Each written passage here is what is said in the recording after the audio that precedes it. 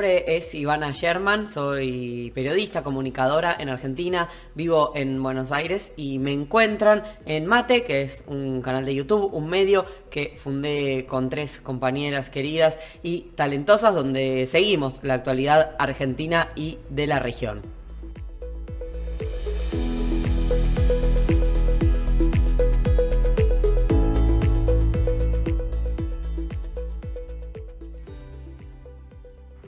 En Argentina, como en muchísimos países del mundo, crece lo que hoy se conoce como nueva derecha, que durante la pandemia aquí se caracterizó por su negacionismo, tanto en las calles como en los medios, con un momento que fue, por lo menos en mi recuerdo, el más álgido, que fue cuando la conductora de televisión Viviana Canosa tomó en uno de los canales más importantes dióxido de cloro en cámara, lo que condujo a que en la provincia de Neuquén los padres de un niño de 5 años le suministraran la sustancia y el niño muriera en paralelo a esto que fue como lo más emblemático del negacionismo en la pandemia, hubo repetidas manifestaciones en contra del confinamiento y hasta de los barbijos, de los cubrebocas. Los quemaban en la calle al grito de que esto era una pandemia, un término que eh, creo que se generalizó también en otros países, incluso en Estados Unidos, y que refiere al asistencialismo del Estado en este momento crítico eh, que tenía el objetivo de morigerar eh, los efectos del parate en la economía producido precisamente por el confinamiento. Entonces, eh, de un primer momento de consenso más o menos generalizado que hubo sobre los cuidados y la prevención ante una enfermedad que hay que verla para, evaluar aquel momento con los lentes de ese momento, ¿no? Que era desconocida. Recordemos que nos llegaban las imágenes de Europa, que para todos nosotros los que estábamos en este hemisferio era el futuro. Y más adelante empezaron a llegar también las imágenes de países como Ecuador, eh, como Brasil, donde mucha gente veía morir a sus familiares en sus propias casas por falta de atención médica donde veíamos cavarse fosas comunes, eh, de esa instancia de un relativo consenso entre oficialismo y oposición y un consenso sobre, bueno, seguir las indicaciones de los especialistas y de los científicos y los médicos, se fue pasando gradualmente a la completa duda sobre absolutamente cualquier política que se generara desde el Estado, desde el barbijo hasta la legitimidad de las vacunas, que fueron efectivamente la única forma de que la enfermedad y sus consecuencias eh, disminuyan, ¿no? Cuando la campaña de vacunación alcanzó un grado razonable de, expansión.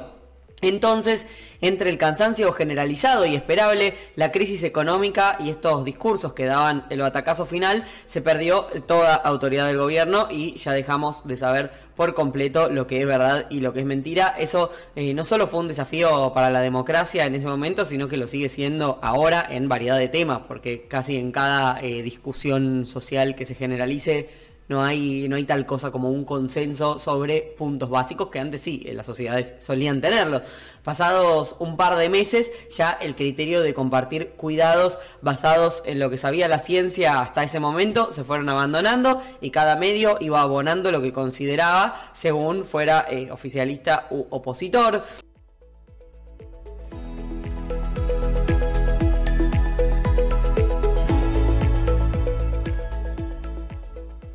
Respecto a la producción cultural, rápidamente emigró a Internet en los momentos de mayor encierro, cuando tanto eh, los artistas como eh, el público estábamos todos encerrados. Hubo un gran crecimiento para los contenidos en YouTube y on demand en general, y muchos conocimos y vimos crecer muy velozmente el streaming, que al empezar la pandemia la gran masa de gente no sabía lo que era, pero hasta empezó a haber fiestas por stream, viernes y sábados. Eh, la gente iba a fiestas a través de Instagram, a través de Zoom. Eh, ahora parece delirio visto para atrás, pero se fueron corriendo varias barreras. Obviamente cada disciplina artística tiene sus particularidades, distintas condiciones de producción. De pronto músicos eh, entraron en etapa de estudio, de composición, de grabación, cuando las giras o shows eran imposibles, pero por ejemplo eh, para el cine era imposible tanto el rodaje, por el amuchamiento eh, de gente que implicaba, el despliegue y el traslado, y también era imposible la exhibición. Entonces muchas salas terminaron cerrando. en esa etapa también gran parte del público, esto es muy interesante, empezó a comprender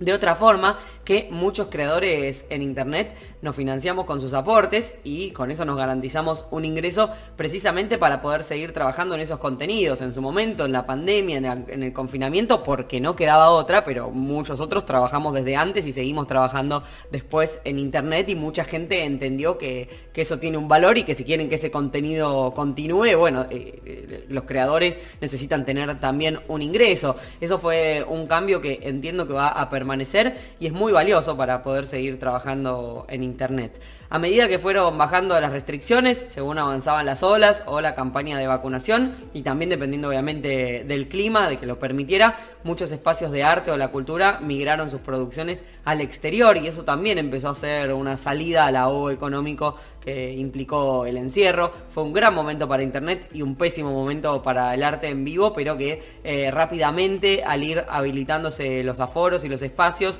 o ya ahora con una normalidad que creo que es plena, se recuperó porque por lo menos la ciudad de Buenos Aires, que es donde yo vivo, es un polo cultural de los más grandes del mundo. Todos los días de la semana, prácticamente a toda hora, hay algo para hacer, algo para ver, incluso gratis. Em, sobre, sobre el futuro, ya lo estamos viviendo. Eh, de la pandemia salimos con una guerra. Eh, la sociedad argentina ya venía desde tiempo largo de un proceso como de, desmembramiento eh, bastante profundo y desde hace mucho tiempo, y volviendo al principio, con, con las derechas que avanzan con la ya casi nula certeza sobre lo que es verdad y lo que no, después de dos años sumergidos completamente en la lógica que, bueno, fue largamente estudiada y que excede este espacio sobre las burbujas, los sesgos de confirmación, los algoritmos, eh, no se vislumbra un proceso de, mejor integración social, sino todo lo contrario. Eh, ya ni siquiera se sostiene el acuerdo que creíamos generalizado y para siempre, de que la democracia es el sistema que queremos, eh, crecen los discursos, incluso candidatos con bancas en el Congreso que sostienen lo contrario